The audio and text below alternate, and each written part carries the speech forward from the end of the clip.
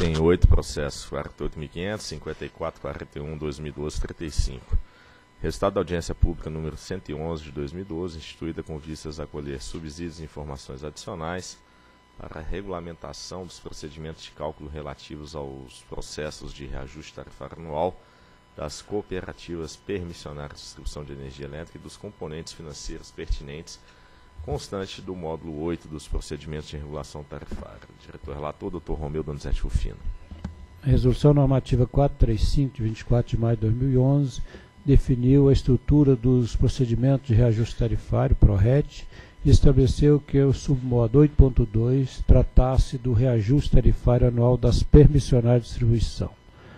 Em 21 de dezembro de 2012, a ANEL instaurou a audiência pública 111-2012 com o intuito de obter subsídio de informações adicionais para a elaboração do regulamento de cálculo do reajuste tarifário anual das permissionárias e dos componentes financeiros pertinentes. A primeira etapa de contribuição se estendeu até 26 de dezembro de 2012 e 25 de janeiro de 2013, e a segunda etapa de contribuição de 26 de janeiro a 25 de fevereiro de 2013. Proposta consolidada do submodo 8.2 do PRORET, juntamente com a análise de contribuições recebidas no, no âmbito da audiência pública, foi apresentada pela SRE na nota TEC 240-2014, SE de 25 de julho de 2014.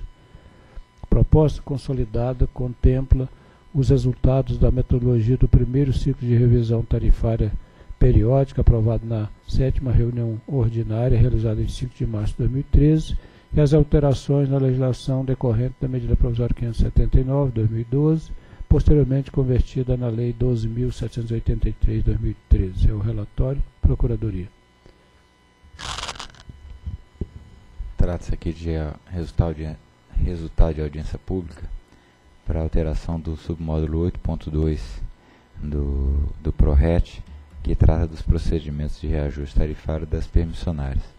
Competência da ANEL do artigo 3 incisos 18 e 19 da Lei 9427, matéria que foi precedida de audiência pública por força do artigo 4 parágrafo 3 também na 9427. A Procuradoria examinou a minuta de resolução normativa sobre aspectos de legalidade e entende que a matéria está em condição de ser deliberada pela diretoria. A presente regulamentação tem por objetivo consolidar os procedimentos que vêm sendo adotados pela ANEL nos processos de reajuste tarifário das permissionárias procedimento proposto também incorpora alguns aperfeiçoamentos aprovados no módulo 3 do PRORET para os reajustes tarifários das concessionárias de distribuição, tendo em vista que o processo de reajuste das permissionárias é semelhante ao cálculo das concessionárias em diversos aspectos. A audiência pública 111-2012 recebeu contribuições de três agentes: Copel Distribuição, Infracopo, Confederação Nacional das Cooperativas de Eletrificação Rural e SEROC, Cooperativa de Eletrificação Rural da região do Oswaldo Cruz.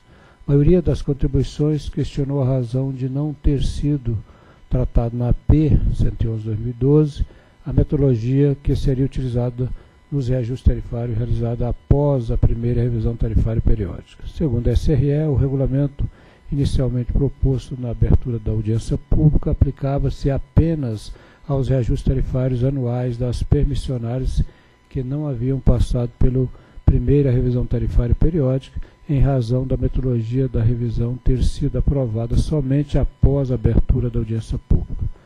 Tendo em vista a aprovação da metodologia de revisão tarifária, foram excluídas do submodo 8.2 das regras iniciais é, válidas até a primeira revisão tarifária periódica é, e contemplado o tratamento regulatório a ser utilizado nos reajustes tarifários das permissionárias realizados após a primeira revisão.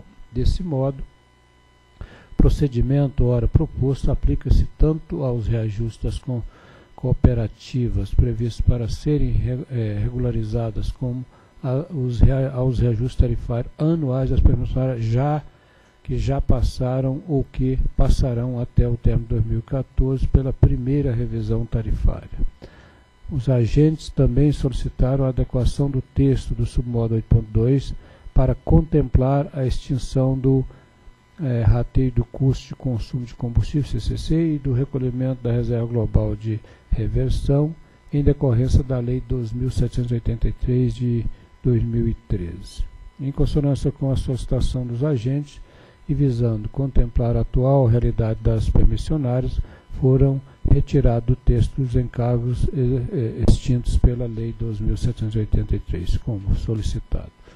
Os pontos de maior relevância do tratamento regulatório proposto apresentado, são apresentados a seguir. Primeiro diz respeito à receita de referência.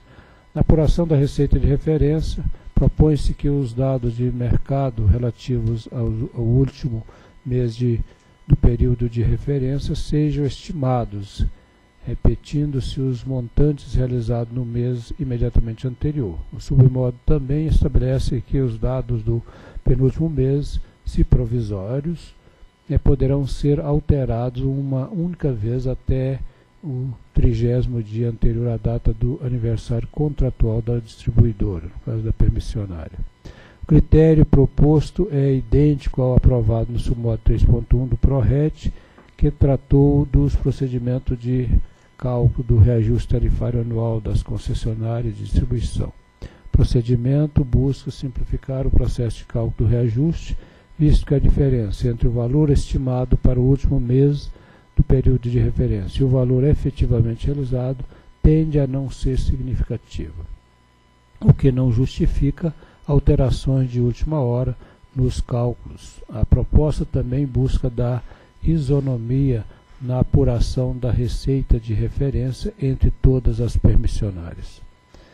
Outro aspecto diz respeito à data limite para a definição do Índice Nacional de Preço ao Consumidor Amplo, IPCA, que é o indexador do processo das permissionárias. Na atualização da parcela B, pelo IPCA, propõe-se que a data limite para a atualização do índice de inflação seja o décimo dia anterior à data do reajuste tarifário. Caso o IPCA do último mês do período de referência ainda não tenha sido divulgado oficialmente pelo IBGE, propõe-se a consideração da projeção mais recente do mês, informada no sistema de expectativa de mercado de Banco Central do Brasil.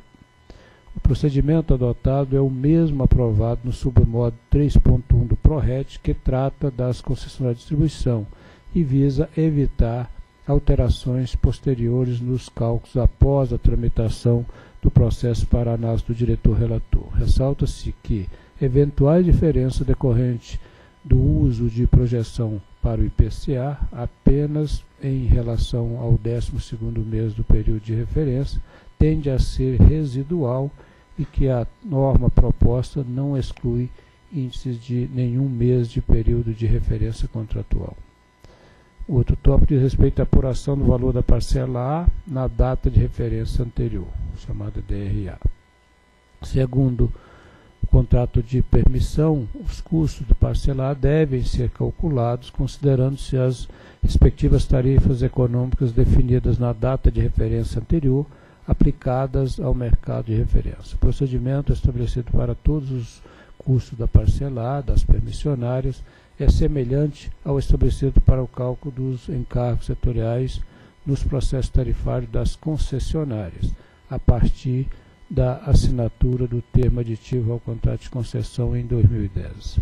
Desse modo, em atendimento ao estabelecido no contrato de permissão, o submodo 8.2 estabelece que o valor da parcela A será calculado aplicando-se os componentes tarifários correspondentes de parcela A estabelecido no último processo tarifário ao mercado futuro faturado no período de referência. Outro aspecto diz respeito à valoração do custo de aquisição de energia comprada. O custo de aquisição de energia deverá ser obtido pela multiplicação da energia requerida, líquida da eh, energia de, do, do Proinfa, pela tarifa média de todos os contratos de compra de energia mantidos pela permissionária para entrega nos 12 meses subsequentes. Esse procedimento é igual ao estabelecido pelo despacho 4.225-2013, que alterou o procedimento de cálculo da valoração dos custos com aquisição de energia das concessionárias de distribuição, em função da introdução da modalidade de contratação de energia Angra 1 e 2 e cotas da Lei 2.783, tendo em vista a possibilidade de alocação das cotas da mencionada lei e de Angra 1 e 2 para as permissionárias, conforme previsto na atual legislação. Outro aspecto diz respeito a ajustes compensatórios posteriores relativo ao custo de transmissão de energia.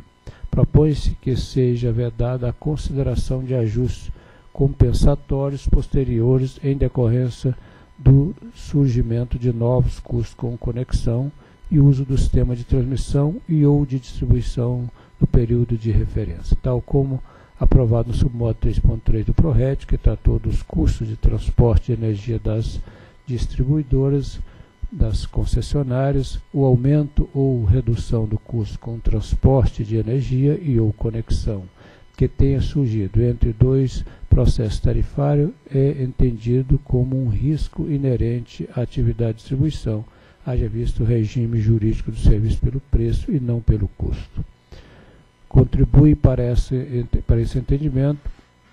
O fato de não existir dispositivo legal ou contratual determinando a neutralidade para os custos de compra de energia, conexão e transmissão de energia elétrica, no sentido de se igualar a receita ou aos custos correspondentes, exceção feita unicamente aos encargos setoriais, conforme ficou estabelecido no processo que resultou da aprovação pela diretoria da ANEL na quarta reunião pública ordinária de 2010 de modelo padrão de aditivo ao contrato de concessão de serviço público de distribuição de energia elétrica no âmbito da audiência pública 43/2009.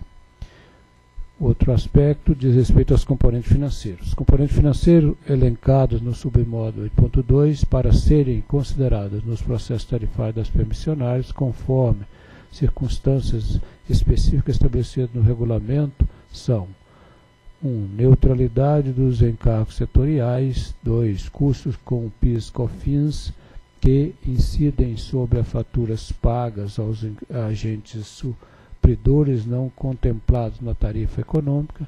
E 3. Repasse para os consumidores das permissionárias das compensações por violação dos limites de continuidade entre distribuidores na minuta do submodo 8.3 proposta, é estabelecido que para os permissionários não há previsão legal para a realização de ajustes compensatórios posteriores relativos à variação de valores dos itens da parcela A entre as datas de realização dos reajustes tarifários, a exemplo da conta de compensação de variação de valores do item da parcela A estabelecido para as concessionárias de distribuição.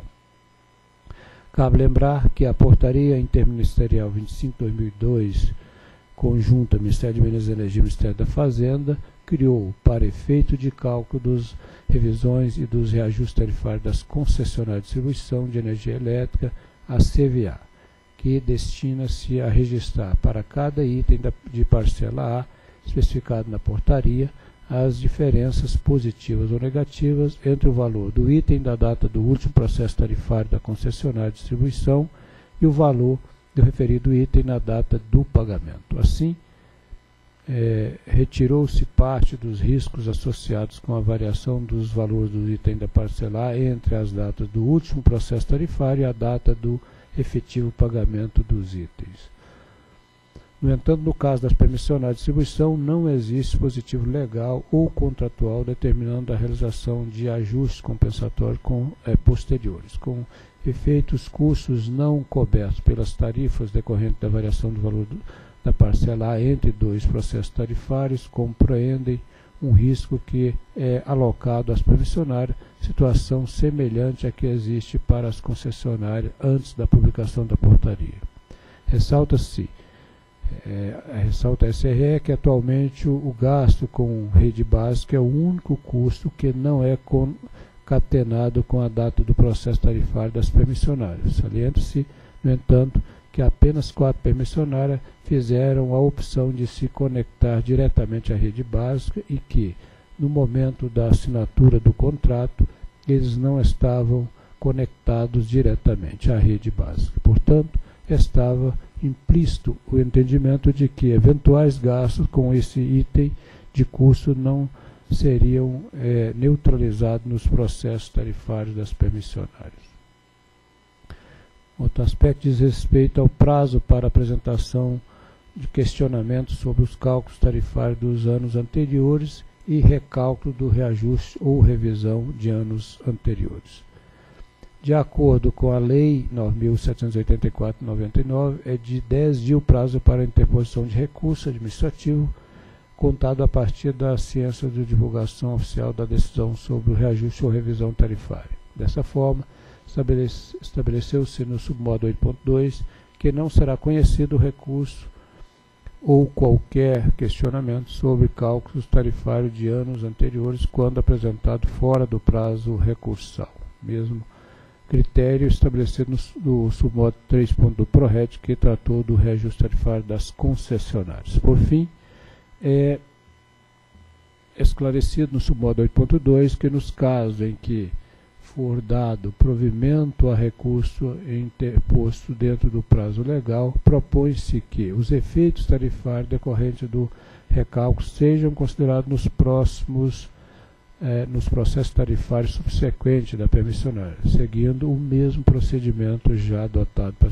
para as concessionárias. Então, do exposto do que consta do processo, voto pela missão de resolução normativa que aprova o submodo 8.2 do procedimento de regulação tarifária, PRORET, o qual estabelece os critérios e a metodologia de cálculo do reajuste tarifário anual das permissionárias de distribuição. É o voto em discussão. Em votação. Voto com o relator. Também voto com o relator. Também voto com o relator. Proclamo então que a diretoria decidiu pela emissão de resolução normativa que aprova os submodos 8.2 do procedimento de regulação tarifária, PRORET, o qual estabelece os critérios e a metodologia de cálculo do reajuste tarifário anual das permissionárias de distribuição. Próximo item.